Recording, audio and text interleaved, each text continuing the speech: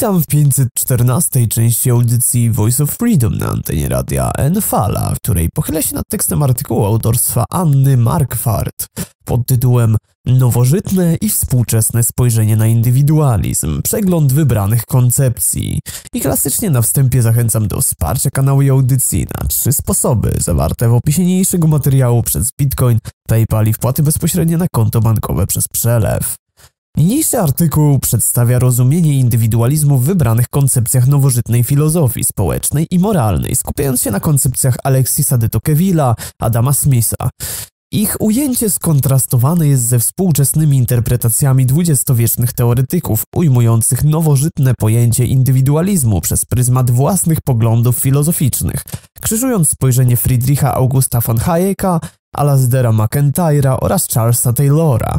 Na indywidualizm mający swe źródła w nowożytności pokazano, w jak różny sposób interpretują i oceniają oni korzenie tego pojęcia oraz koncepcje używających go filozofów. Jednocześnie wskazano, jak ściśle indywidualizm wiąże się z egoizmem, z którym jednakże nie można go utożsamiać i zasygnalizowano skutki niesione przez jego określone rozumienie dla teorii społecznej. Pojęcie indywidualizmu w niezwykły sposób łączy myśl etyczną i społeczną. Aspekty tego zjawiska oceniać można pozytywnie albo oraz negatywnie. Wiele zależy zarówno od zastosowanej definicji, jak i od przyjętego spojrzenia na naturę człowieka i społeczeństwo czy jako kolektyw, czy jako zbiór indywidualności. Wszak żaden las nie istnieje bez pojedynczych drzew. Przekonanie o tym, iż właściwe człowiekowi jest życie we wspólnocie, współdziałanie z innymi i nie zamykanie się na otoczenie, jest niezwykle silnym założeniem obecnym w filozofii od starożytności, od pojęcia arystotelejskiego animal sociale, istota społeczna. Nie wy klucza to jednak możliwości powstawania teorii przyjmujących antropologię atomistyczną, uznających współpracę jednostek za zjawisko opresyjne lub opcjonalne. Indywidualizm można uznawać za źródło rozpadu więzi społecznych, rodzinnych, jak również za warunek niezbędny do ich tworzenia w zależności od naszej optyki. W zglobalizowanym świecie zaobserwować można uleganie przez człowieka trendom masowości, manipulacji, tłumowi, kalkom popkulturowym, lecz także kładzenie nacisku na indywidualność. Ja, moje, znajduje się w centrum zainteresowań. Dbamy o swoje zdrowie, swój rozwój duchowy, emocjonalny, intelektualny. Chcemy się doskonalić, wzbogacać, rozwijać, niekiedy kierując się zgodnością z aktualnymi trendami. Zawsze dążymy do poprawy swojego stanu bieżącego, zmiany dolegliwego w pożądany, e, przeobrażenia swojego otoczenia w lepszy, bardziej satysfakcjonujący. Komunikacja stała się niezwykle prosta w czasach telefonów, e-maili, forów i Facebooka, a czas i przestrzeń uniezależniły się od miejsca.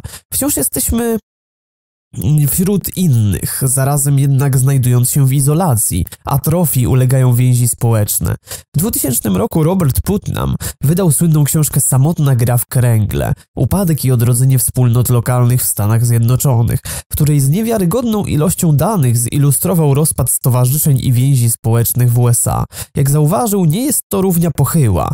Starannie przebadana amerykańska historia jest odpowiedzią o wzlotach i upadkach obywatelskiego zaangażowania, a nie tylko opowieścią o upadkach. Jest historią rozpadu i odrodzenia. Siła więzi społecznych fluktuuje. Trudno jednakże wskazać jeden czynnik odpowiedzialny za ich osłabienie. Nie jest to po prostu wynik zmian w strukturze społeczeństwa. Korelacja ze wzrostem zatrudnienia kobiet również nie okazuje się wystarczająco silna. Czyżby trafną diagnozą były zatem wymieniane przez Charlesa Taylora bolączki nowoczesności? Są one istotne nie tylko na polu kapitału społecznego, ale przede wszystkim w wymiarze antropologicznym i etycznym. Prymat rozumu instrumentalnego oraz indywidualizm, który jest również tym, co wielu uznaje za najwspanialsze osiągnięcie współczesnej cywilizacji. Żyjemy w świecie, w którym ludzie mają prawo sami wybierać własny styl życia, w głębi sumienia decydować o swoich przekonaniach, kształtować własne życie na wiele sposobów niedostępnych dla ich przodków. Pojęcie indywidualizmu w wybranych koncepcjach filozofii społecznej. Kluczowe wydaje się rozważenie, co należy rozumieć przez określenie indywidualizm, jak oceniać to zjawisko i co można zrobić, by niosło ono korzyści zamiast zagrożeń. Taylor zjawisko indywidualizmu odnosił już do XVII wieku, który zapoczątkował przemiany i stał się kamieniem milowym, węgielnym w kształtowaniu współczesnego człowieka. W języku angielskim słowo individualism pojawiło się po raz pierwszy w przekładzie o demokracji w Ameryce Alexisa de Tocqueville'a 1840 rok. W języku francuskim zaś jego użycie sięga zaledwie lat 20. XIX wieku. Prawdopodobnie wprowadził je Joseph de Maistre. Nie oznacza to jednak, jak zauważył to sam de Tocqueville, odpowiedzialny w dużej mierze za rozpropagowanie tego określenia i nadanie mu znaczenia, iż wcześniej ludzie nie myśleli o sobie. Możemy też znaleźć indywidualizm silnie w myśli anarchistycznej, na przykład Benjamin Tucker, Henry David Thoreau, a także na przykład Max Stirner.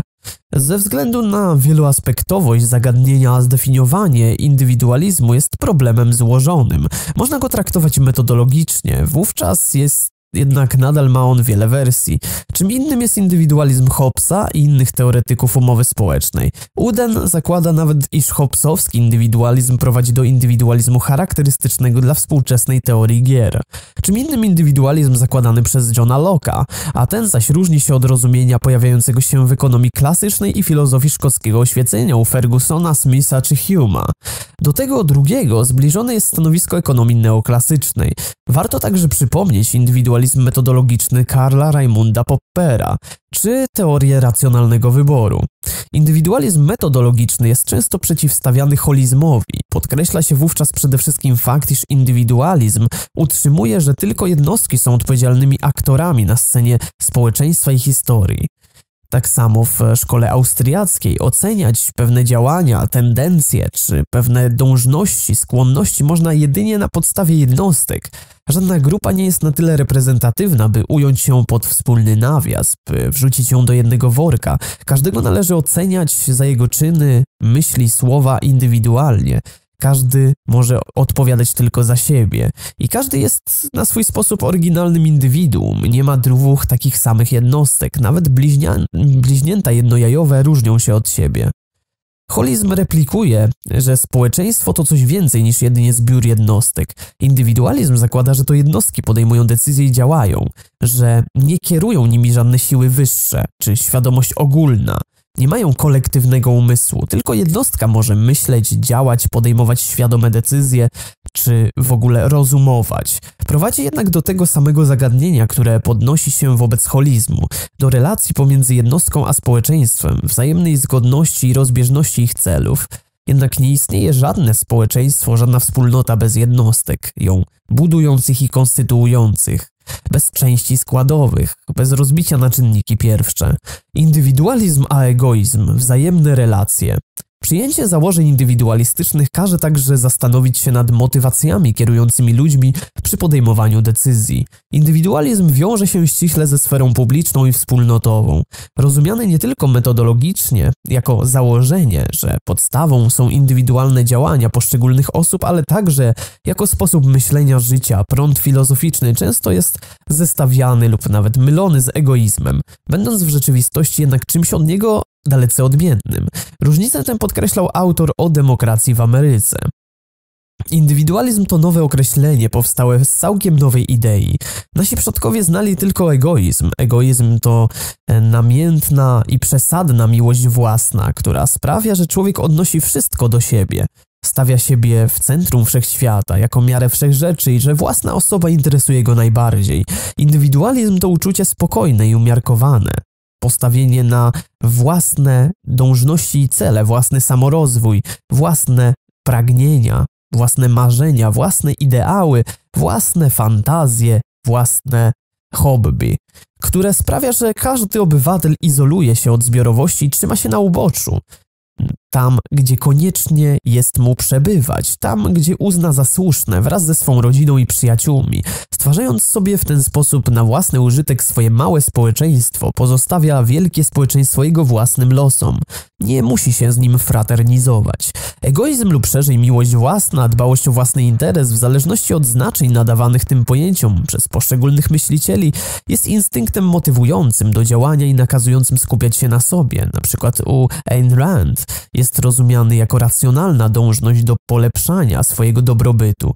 Dbać o własne dobro Egoizm jest wadą starą jak świat i nie łączy się z jakimiś określonymi formami społecznymi. Indywidualizm ma źródło w demokracji i rośnie w miarę rozwoju równych możliwości. Kontrowersje zawsze budził fakt, czy egoizm należy rozumieć jedynie w sposób negatywny. Klasycznym myślicielem podkreślającym jego niebagatelną rolę w rozwoju narodów był Bernard Mandeville, który w bajce o pszczołach obrazował jak nadmiar cnót doprowadzić może do upadku, a przynajmniej do spowolnienia rozwoju gospodarczego społeczeństw, jako swego rodzaju przesyt praworządności. W jego oczach to miłość własna jest tym, co nie tylko pozwala państwom prosperować i nie poświęcać się na cudzą rzecz, na cudzy na swój własny rachunek, ale zarazem skłania się do czynienia dobra i działania na rzecz innych. Tak paradoksalnie wrodzony człowiekowi egoizm przyczynia się do dobra wspólnego.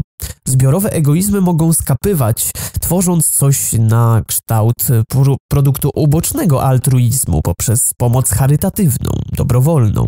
Przekonanie o pozytywnych efektach działań motywowanych samo zainteresowaniem jest poglądem charakterystycznym dla ekonomii liberalnej i doktryn spontanicznego rozwoju. Trudno bowiem Uczestniczyć w życiu społecznym jako biedak i parias. Trudno pomagać innym samemu, nie rozbudowując swojego kapitału i nie będąc bogatym.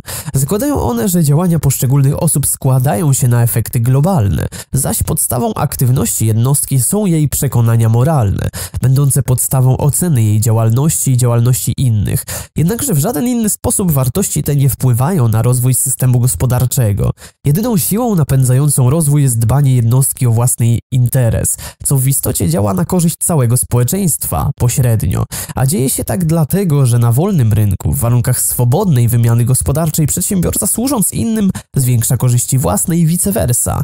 Bo właśnie ręka rękę myje. Na rynku wszystkie podmioty wymieniają wartości za wartości, służą sobie nawzajem i spełniają swoje zachcianki, swoje potrzeby, zaspokajają swoje żądze i swoje pragnienia poprzez właśnie dobrowolną, niekoordynowaną nijak z zewnątrz, nie ustalaną odgórnie, nieplanowaną współpracę, kooperację różnych podmiotów, które wymieniają się usługami i dobrami, które znajdują to, co druga osoba pożąda i starają się przeobrazić tę e, potencjalność w przyszłe dobro. Myślicielem, który odegrał kluczową rolę w kształtowaniu się tego przekonania był Adam Smith, choć on również podkreślał, że pragnienie zysku jest podstawowym czynnikiem skłaniającym do podejmowania działań rynkowych, do podejmowania ryzyka, do jakichkolwiek strategii, zaś egoizm i pycha popychają człowieka do postępowania niegodziwego, korzystnego zarówno dla niego samego, jak i dla innych, choć niekiedy po trupach do celu, ale tylko w sytuacji skrajnej, tylko w sytuacji, w której przekraczają pewien niepisany kodeks moralny. Potępiał przy tym nadmierne samolubstwo, jednocześnie idąc w ślady Shaftersbury'ego i Hutchesona. Podkreślał społeczną naturę człowieka, dostrzegając jej źródło w uczuciu sympatii, empatii, które naturalnie skłania ludzi do działania na rzecz najbliższych swojego środowiska oraz buduje więź społeczną i popęd społeczny, który skłania do zrzeszania się w grupy, w których jest raźniej i bezpieczniej, których łatwiej jest przetrwać. Działając na rynku, jednostki podejmują możliwie racjonalne decyzje, opierając się na posiadanej wiedzy i dążąc do maksymalizacji zysku. Działają ze względu na interes własny, kalkulując i szukając dla siebie korzyści, nawet w codziennych sytuacjach wymiany. Jak głosi najsłynniejsze prawdopodobnie stwierdzenie Smitha, człowiek kieruje wytwórczością tak, aby jej produkt posiadał możliwie najwyższą wartość. Myśli tylko o swym własnym zarobku, a jednak w tym, jak i w wielu innych przypadkach, jakaś niewidzialna ręka kieruje nim tak, aby zdążał do celu, którego właśnie nie zamierzał osiągnąć. Ta niewidzialna ręka to ręka Boga, który z zewnątrz, jakby z kurtyny, koordynuje te działania. Społeczeństwo zaś, które wcale o tym, w tym nie bierze udziału, nie zawsze na tym źle wychodzi. Mając na celu swój własny interes, człowiek często popiera interesy społeczeństwa skuteczniej niż wtedy, gdy zamierza służyć im rzeczywiście. Jego dobrobyt może służyć wszystkim, może w pewien sposób przekładać się na wzrost zamożności więcej niż jednego człowieka nie tylko na drodze wymian, ale także filantropii. Nigdy nie zdarzyło mi się widzieć, aby wiele dobrego zdziałali ludzie, którzy udawali, iż handlują dla dobra społecznego. Za każdym razem była to fasada i maska pozoru, obłudy. Przekonanie to, chociaż wykazuje podobieństwo do poglądów Mandevilla, nie prowadzi do tak daleko idących wniosków jak w przypadku holenderskiego filozofa.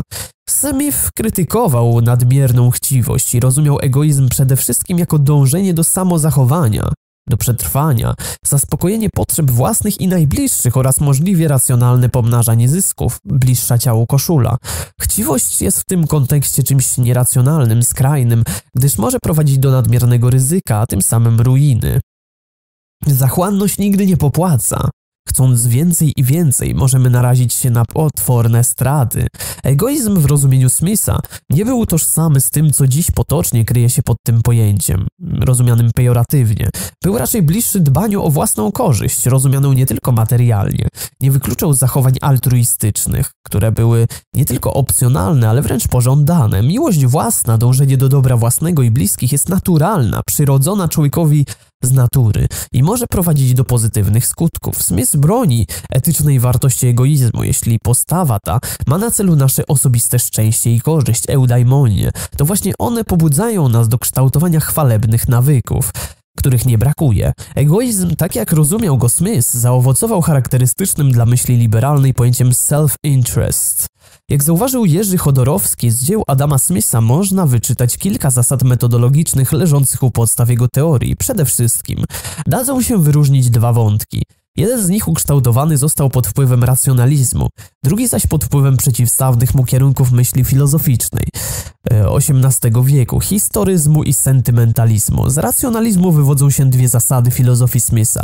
Pierwszą z nich jest indywidualizm w swej formie poznawczej, metodologicznej. Jest to zasada analityczna polegająca na szukaniu wyjaśnienia gospodarczej strony zjawisk społecznych w zachowaniu jednostek gospodarujących. Mm, stąd w pracy badania nad naturą i, za, mm, i przyczynami bogactwa narodów. Smith bowiem uważał jednostkę gospodarującą za wcześniejszą i logicznie i historycznie od społeczeństwa. Bo najpierw kapitał musiał zostać przez kogoś zgromadzony, zakumulowany, żeby zbudować jakąś większą warstwę społeczną, jakąś klasę, jakąś organizację, jakąś nadbudowę, czy to administracyjną, czy to systemową, czy to aparat państwowy, czy to jakiekolwiek miasto i tak dalej. Drugą zasadą racjonalistyczną w filozofii Smitha jest naturalizm. U Smitha przejawia się ona w poglądzie, że w naturze człowieka tkwią instynkty i uczucia zapobiegające konfliktom albo je łagodzące, konkurujących ze sobą korzyści poszczególnych jednostek. Obie te zasady ilustruje mechanizm niewidzialnej ręki. Pojęcia tego Smith użył w swych pracach jedynie trzy razy w historii astronomii, raz w teorii uczuć moralnych i raz w badaniach nad naturą i przyczynami bogactwa narodów. W dwóch ostatnich e, przypadkach obrazuje ono w jaki sposób jednostki podejmując indywidualne decyzje przyczyniają się nawet mimowolnie do dobra ogółu. Jak stwierdził Smith, nawet ci zachłanni odgrywają istotną rolę w zapewnianiu dobrobytu innym. W tym biednym, to majętni przecież tworzą miejsca pracy, prowadząc zakłady produkcyjne, posiadając gospodarstwa, potrzebując służby. Przekonanie o indywidualnych działaniach jednostek nie wyklucza w jego myśli funkcjonowania w ramach wspólnoty. Może je wybrać dobrowolnie, samodzielnie, z własnej woli. Człowiek nie jest samowystarczalny, nie jest samotną autarkiczną wyspą. By przetrwać, mnożyć swe zyski i funkcjonować na rynku, musi współpracować z innymi. Wyraźnie widać to w przypadku procesów gospodarczych, gdzie wyższe zyski przynosi podział pracy, zaś kluczowym mechanizmem opierającym się na komunikacji i kooperacji jest wymiana handlowa. Handel rozwija się i rozprzestrzenia, nie z miłości do Boga, ani ze strachu przed władcą, czy też z powodu jakiejś bajkowej życzliwości Hutchinsona, lecz z powodu osobistego zainteresowania współpracą z innymi. Smith zakładał, iż natura uformowała człowieka tak, by potrzebował innych. Zatem zainteresowanie współpracą z nimi nie jest jedynie wynikiem konieczności zaspokojenia potrzeb czy multiplikowania zysków, ale efektem bycia istotami społecznymi. To, że każdy podejmuje indywidualne decyzje i nie działa ze względu na dobro wspólne, nie zmienia faktu, że życie wśród innych ludzi jest czymś naturalnym. Od naturalnych komórek społecznych rodzin, przez uczucia namiętności, przyjaźni i miłości. Świadczy o tym choćby wrodzone jednostkom, jak twierdzi szkocki myśliciel, uczucie sympatii. Sympatia, inaczej mówiąc współodczuwanie, jest pojęciem kluczowym dla teorii uczuć moralnych, które nie tylko pozwala stawiać się na miejscu drugiego i wydawać sądy moralne, ale także tworzy więź społeczną społeczną, silniej współodczuwa się z bliskimi znajomymi, społecznością, narodem. Jednostki działają dla dobra swojego i najbliższych, a także dla swojej grupy. Dlatego założenie o pierwotności jednostkowych decyzji okazuje się spójne z działaniami na rzecz wspólnoty. Sposób rozumienia przez Smitha sympatii zakłada pomaganie tym, na których nam zależy. Tym samym teoria Smitha stara się wyjaśnić jedno z wyzwań stawianych przez indywidualizmem i przed holizmem. Odpowiada na pytanie, jak pogodzić cele jednostkowe i społeczne ogólne. W myśl mechanizmu niewidzialnej ręki dobro ogółu wynika z zachowań indywidualnych, nie jest z nimi sprzeczne, wręcz przeciwnie, zbieżne. Nawet pomimo pozornej różnicy interesów jest zgodne. Trudno nie zauważyć tu dominującej roli założenia o indywidualizmie metodologicznym. Współczesne spojrzenie inspirowane nowożytnym indywidualizmem. Egoizm w rozumieniu XVIII-wiecznych myślicieli klasycznego liberalizmu nie niósł zgubnych skutków dla wspólnoty. Był przywarą, niosącą jednakże korzyści ogółowi. Natomiast indywidualizm tak jak opisywał go de Tocqueville, wiążąc go przede wszystkim ze sferą społeczną, jest wynikiem błędnego sposobu myślenia, zaś jego skutkiem okazuje się atomizacja społeczeństwa. Źródła indywidualizmu, zdaniem de Tocqueville'a, jako konserwatysty krytykującego rewolucję, leżą w równości i demokracji. Twierdził on, że demokracja nie tylko każe ludziom zapominać o przodkach, ale również pozbawia ich myśli o potomkach i odsuwa ich od współ wczesnych. Demokracja stale sprowadza człowieka do niego samego i może go skazać na całkowite zamknięcie w kręgu własnej samotności. Ustrój ten skutkuje nieustanną rywalizacją, egoizmem, nienawiścią. Każdy ma w nim prawo decydować, zaś decyzje podejmuje w oparciu o to, co jest najlepsze dla niego samego tu i teraz. Jeszcze dalej w krytyce indywidualizmu, jako jednego z podstawowych założeń liberalizmu posunął się Alasdair MacIntyre. Podobnie jak de Tocqueville, e, twierdził on, iż ze swej definicji indywidualizm jest sprzeczny z myśleniem o wspólnocie. Już sam moralny indywidualizm liberalizmu powoduje erozję wspólnoty opartej na uczestnictwie. Moralna argumentacja w liberalizmie nie może wychodzić od jakiejś koncepcji autentycznie wspólnego dobra, które byłoby czymś więcej i czymś innym niż sumą preferencji jednostek. Nie da się zbudować wspólnoty mówiąc tylko o jednostce. Wiąże się to także ze specyficzną koncepcją człowieka. Państwo musi stanowić siłę gwarantującą przestrzeganie praw, ponieważ jednostki zawsze narażone są na nieuczciwość innych, jak podkreślał autor dziedzictwa cnoty. Intuic instytucje nierozerwalnie powinny być związane z cnotami i podstawową rolą społeczeństwa, jaką jest wychowywanie i wpajanie wartości. Liberalny indywidualizm postulujący moralną neutralność systemu reguł prowadzi do rywalizacji i atomizacji. Naturalnie siła perswazyjna liberalnego indywidualizmu wywodzi się w pewnej mierze z oczywistego faktu, że współczesne państwo rzeczywiście zupełnie nie nadaje się na moralnego wychowawcę dla jakiejkolwiek wspólnoty. Społeczność wiąże się z odpowiedzialnością, którą indywidualizm do pewnego stopnia neguje. McIntyre podkreślał rolę tradycji w kształtowaniu człowieka w kontekście wpajania cnót i praktyk. Stąd kolejna przywara indywidualizmu, który nie może w ramach swojego schematu pojęciowego zrobić żadnego pożytku z pojęcia tradycji. Musi on dopuszczać decyzje jednostkowe indywidualne, sposoby postrzegania rzeczywistości. Jednakże, co zauważył choćby von Hayek, w dużej mierze bazuje na tradycji i instytucjach, których powstania nikt nie jest w stanie opisać. Sprawdzają się one jednak w praktyce i są reprodukowane przez społeczeństwa. Charles Taylor Rozwijając swoją wizję społeczeństwa i tożsamości jednostkowej oraz opisując sposoby ich kształtowania, krytykował społeczeństwo instrumentalne. Jednostki coraz bardziej oddalają się od życia we wspólnocie na rzecz e, mniej stabilnych relacji podporządkowanych jednostkowym celom. Dla Taylora indywidualizm to nie tylko zwiększenie możliwości wyboru, to przede wszystkim oderwanie od hierarchii, tradycji i symboli. Niesie on ze sobą zagrożenie relatywizmem dostrzeganym przez Taylora już w korzeniach myślenia indywidualistycznego wiążącego się z ulokowaniem oceny dobra i zła w uczuciach, co widać m.in. w teoriach zmysłu moralnego czy w romantyzmie. Daje to ogromną wolność kreowania siebie, prowadzi jednak do obsesyjnego dążenia do oryginalności wynikającego z konieczności autokreacji. Każdy ma żyć na swój własny sposób. Herder wysunął pogląd, że każdy z nas istnieje na swój własny, wyjątkowy sposób. Każdy ma swoją własną miarę, jak to ujął. Idea ta wryła się bardzo głęboko w nowoczesną świadomość. Jest ona również nowa. Przed końcem XVIII wieku nikomu nie przyszło do głowy, że różnice między ludźmi mają znaczenie moralne tego rodzaju. Istnieje pewien sposób bycia człowiekiem, który jest moim sposobem. Jestem powołany, by przeżyć moje życie w taki właśnie sposób, a nie naśladować życie kogokolwiek innego. To jednak nadaje nowy sens wierności samemu sobie. Jeśli nie będę sobie wierny, przegapię sens mojego życia, przegapię to, czym człowieczeństwo jest dla mnie. Tak oto ideał moralny o wielkiej sile oddziaływania otrzymaliśmy w spadku. W imię szanowania cudzych poglądów, tolerancji, czyli ideałów, które są same w sobie niezwykle wzniosłe, można się posunąć do relatywizmu, który sprawi, iż utraci się podłoże dla własnych wartości. Zagrożenie relatywizmem, brakiem ugruntowania poglądów jest jednym z większych wyzwań stojących przed indywidualizmem.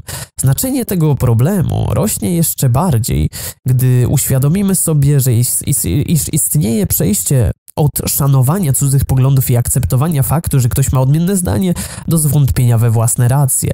I to nie zwątpienia refleksyjnego, każącego rozważyć własną drogę, ale do niekonstruktywnego zanegowania wszelkich wartości. Jest to zjawisko o tyle paradoksalne, iż pierwotnie ufundowane zostało na ideale moralnym.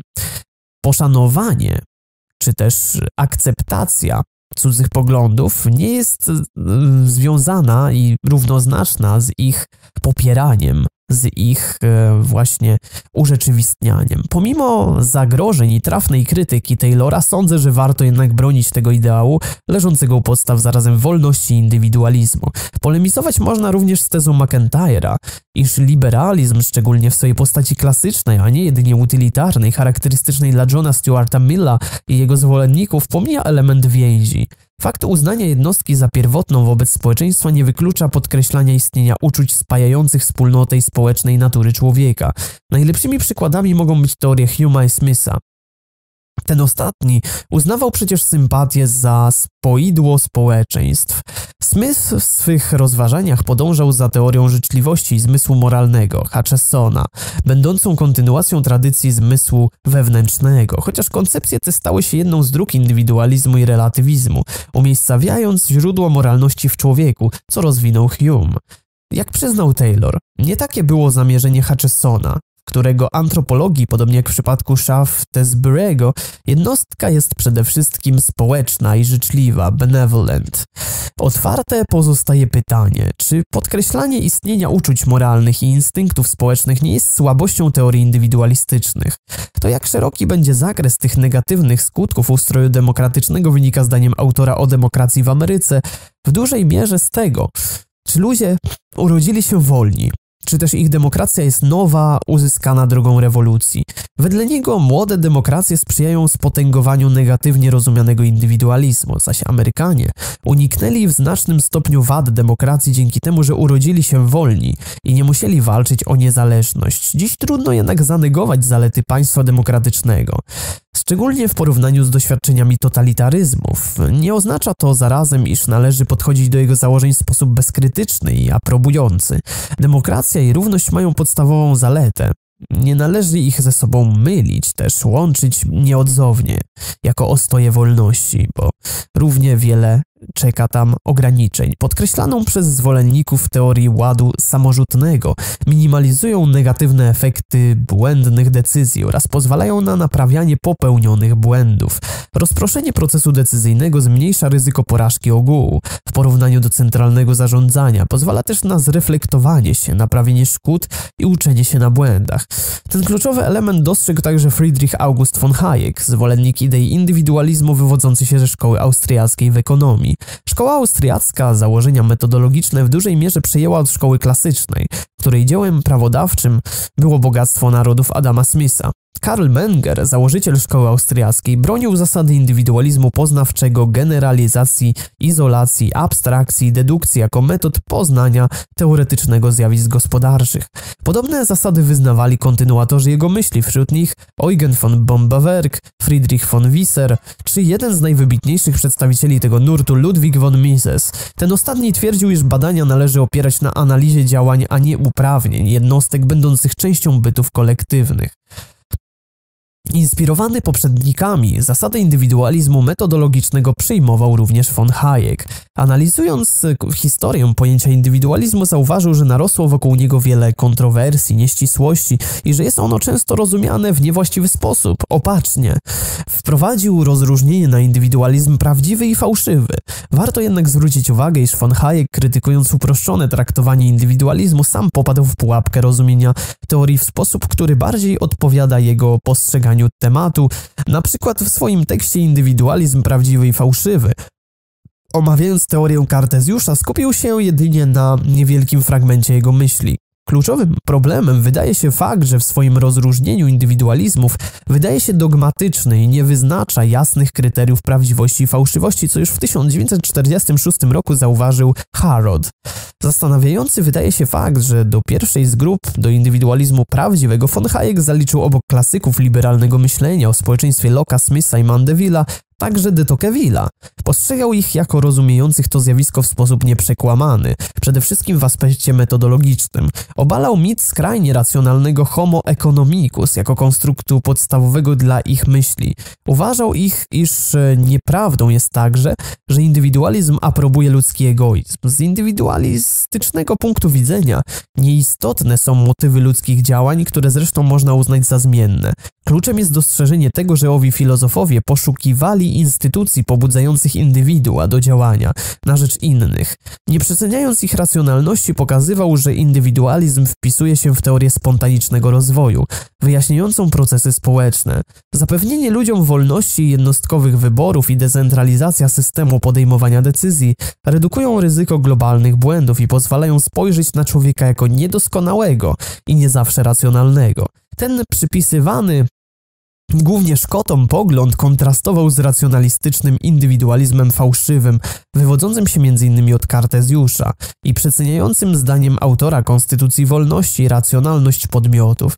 Chwalony przez niego rodzaj indywidualizmu jest spójny z poglądami samego autora na kształtowanie się procesów społecznych i gospodarczych. Ten krytykowany zaś jest przedstawiony w nazbyt uproszczony sposób. Podobnie jak autor o demokracji w Ameryce, von Hayek podkreślał społeczny aspekt indywidualizmu, nadając mu jednak odmienne znaczenie. Jakie zatem są istotne cechy charakterystyczne mm, prawdziwego indywidualizmu? Trzeba po pierwsze powiedzieć, że jest to przede wszystkim teoria społeczeństwa, próba zrozumienia sił determinujących społeczne życie człowieka, a dopiero w dalszej kolejności zespół maksym politycznych wyprowadzonych z tej koncepcji społeczeństwa. Głosi on, że jedyną drogą do zrozumienia zjawisk społecznych jest zrozumienie działań podejmowanych przez jednostki, działań nakierowanych na innych ludzi, uzależnionych od ich oczekiwanego zachowania. Zdaniem myśliciela przedstawiciele takiego indywidualizmu nie uznają człowieka za pozbawionego wad, skrajnego, nieustannie kalkulującego, racjonalistę. Dostrzegają jego słabości, zaś w wolności indywidualizmie widzą szansę korygowania błędów i minimalizowania szkodliwych skutków niewłaściwego postępowania.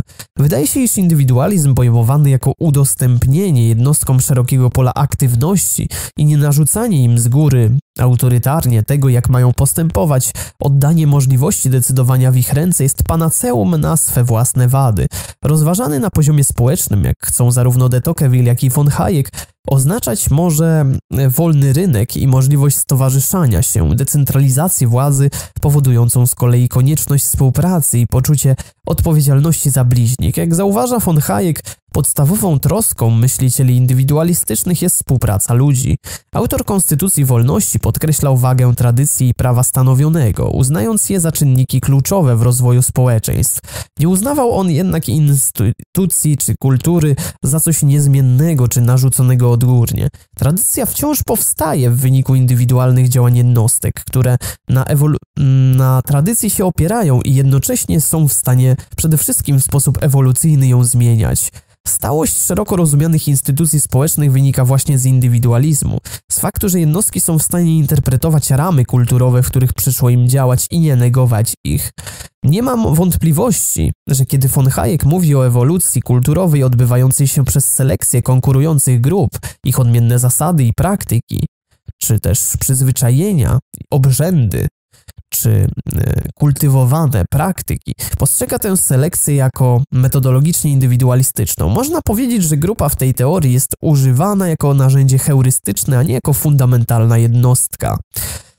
Von Hayek nie uważał, że instytucje są tworzone świadomie, lecz sądził, że są wynikiem ewolucyjnych procesów społecznych. Jednostki były przez niego traktowane jako indywidua posiadające odrębne tożsamości, definiowane wobec nich samych, a nie polityki, która pełni rolę jedynie koordynującą jednostkowe poczynania. Wyjaśniając zjawiska społeczne, von Hayek jednak nie skupiał się już tak wyraźnie na decyzjach jednostkowych.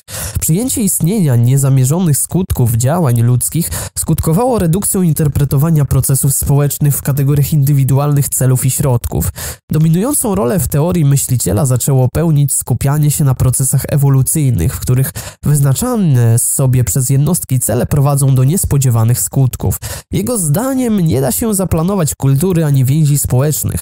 Jedyną możliwością ich właściwego działania jest zapewnienie wolności i pozwolenie na rozwijanie się instytucji, rozumianych w sposób szeroki, tak by poszczególne podmioty działające wpisywały się w szerszy kontekst społeczny. Indywidualizm uczy nas, że społeczeństwo przekracza jednostkę o tyle tylko, o ile jest wolne. Także zdaniem de Tocqueville'a pewnym rozwiązaniem jest wolność. Jak zauważył, za pomocą wolności Amerykanie wypowiedzieli walkę indywidualizmowi zrozumionemu przez równość i walkę tę wygrali.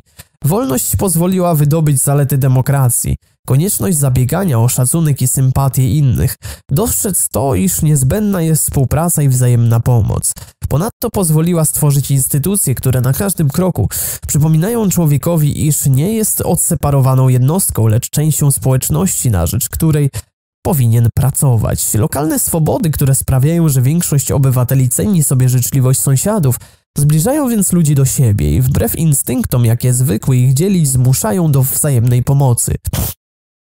Ta krytykowana przez de Tocqueville'a równość i jej konsekwencja, indywidualizm, choć niosą zagrożenia, mogą prowadzić do anarchii, oczywiście negatywnie rozumianej lub co gorsza zniewolenia, tworzą złudzenie niezależności od innych, sprawiają jednocześnie, iż ludzie przywiązują się do swej wolności, zabiegają o nią i dbają o tworzone przez siebie instytucje.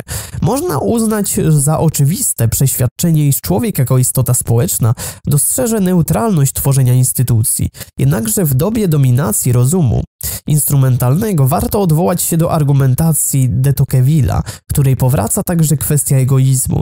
Nie jest on postrzegany jako tak zły, jak można by na początku sądzić. Myślenie utylitarne pozwala zrozumieć, iż współpraca po prostu się opłaca racjonalnie.